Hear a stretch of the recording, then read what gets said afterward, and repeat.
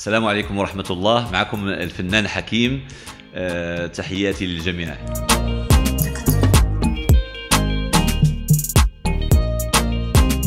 أولا تحية للجمهور ديالي الجمهور المغربي العظيم.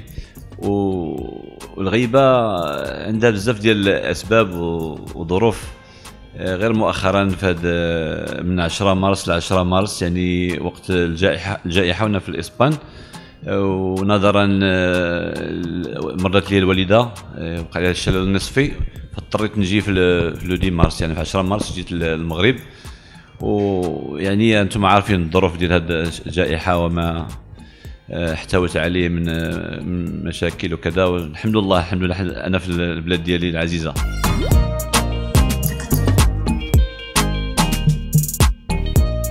السبب هو الرئيسي هو المرض ديال الوالدة.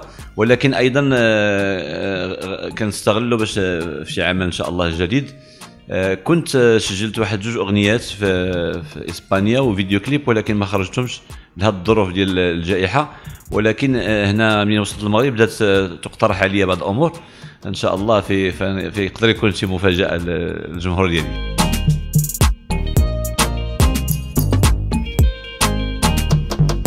بكل فرح لأن في الحقيقة كانت بزاف ديال الاقتراحات ولكن ما ما كتبتش. منها لما كنت جالس مع الأستاذة سميرة سعيد وقال لها الاستاذ ايمن انت في تعملوا شي ديو انت حكيم وقالت عجبها الصوت ديالي وكذا. أو مرة كنت مع الاستاذ رامي عياش أو مع الاستاذ لطيف رأفات أو عدة آه، أستاذة حياة إدريسي. آه، يعني وكان سابقا تكون مع الأستاذ سعد المجرد أو مع الأستاذ حاتم عمور مع بزاف ديال الفنانين تبارك الله. الفنانين ديالنا كلهم تبارك الله آه، ناس عظماء يعني في فنهم وفي أخلاقهم. فاي اي أي ثنائي مع شي فنان في هذا الحجم وهذا المستوى فأنا فخور بذلك.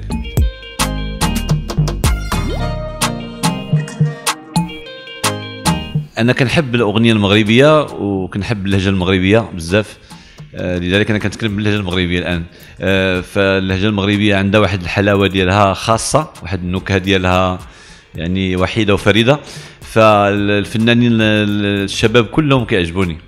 عندي صديقي الفنان الكبير سعد المجرد صديق ديالي بزاف والاستاذ حاتم عمور وأستاذ نزار إيديل.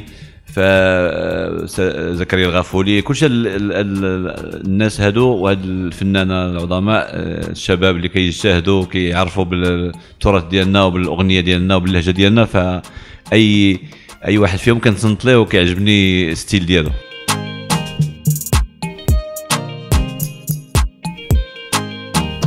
اولا عزائي عزائي عزائي الحار يعني هذه العائلة مسكينة اللي ضاعت في هذا الشاب سيدي يونس. اولا كنترحم عليه كنطلب الله تعالى يتغمده في رحمته إن شاء الله ويسكن فسيح جناته.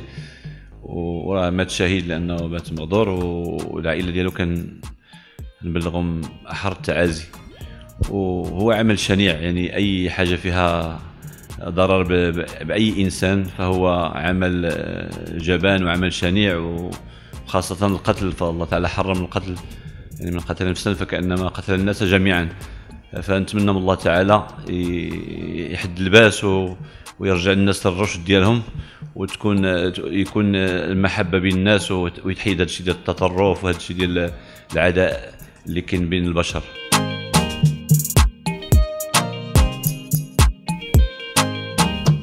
أنا دائما قلت بأنني الحمد لله ما ما حصلش لي أي عداء من العنصرية لأنني حاولت نندمج مع آه، مع الشعب آه، الاسباني وكنت دائما حريص نكون متخلق ونكون ذو أخلاق.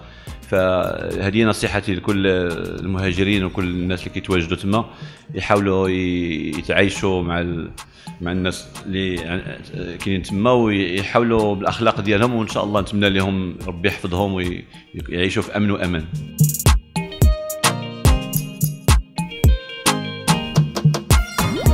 وفي الحقيقة ما عنديش مع الكرة بصفة عامة يعني هذه أمر غريب بالنسبة لي ف سواء لا في الفريق الفرق المغربية ولا الفرق الإسبانية والله العظيم يعني ما كنكذبش.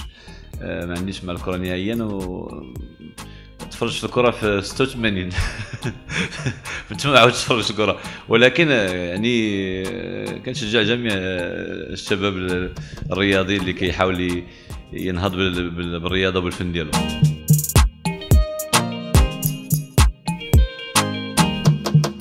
عندي بزاف ديال المشاريع و شي كيقول لي عمل شي حاجة ديال السماء شي حاجة ديال التجويد شي حاجة هذا الشيء كيقول لي شي أغنية جديدة لأن الجمهور تا هو اشتاق ليك لأن من 2010 ما خرج شي حاجة.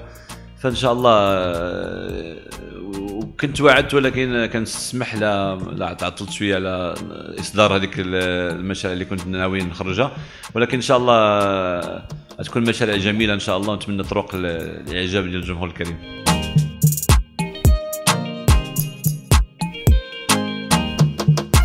اولا كنحيي آه، البلد العظيم اللي هو بلد المغرب.